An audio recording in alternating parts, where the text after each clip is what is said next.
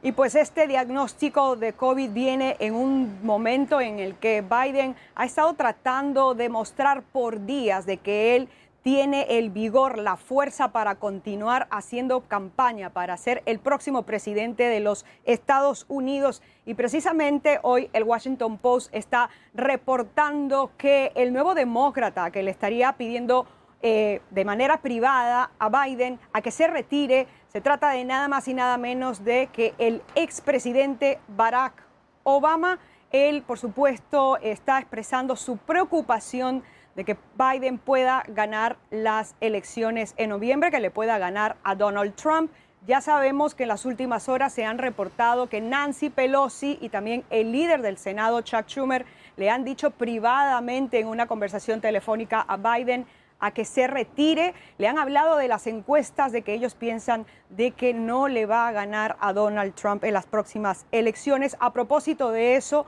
su campaña ante esta presión del más demócrata saliendo a decir eh, pues de que a Biden de que se retire su campaña ha reaccionado y han dicho que ellos no están contemplando ningún escenario en el que el presidente no sea la cabeza